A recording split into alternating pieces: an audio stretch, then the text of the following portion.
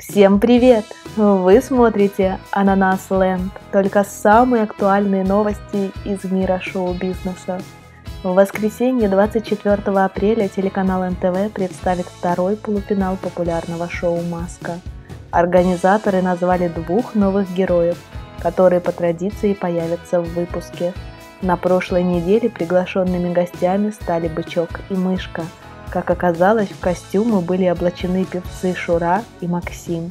В этот раз на сцену выйдут Мишка и Котик. Они исполнят свои номера и дадут зрителям подсказки. Свои лица герои раскроют в конце шоу. Напомним, сейчас в проекте осталось пять участников.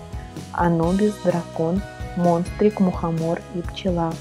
Финал шоу пройдет 1 мая в московском Крокус Сити Холл. А я напоминаю, вы смотрели канал Ананас Ленд. Пишите комментарии, нам интересно ваше мнение.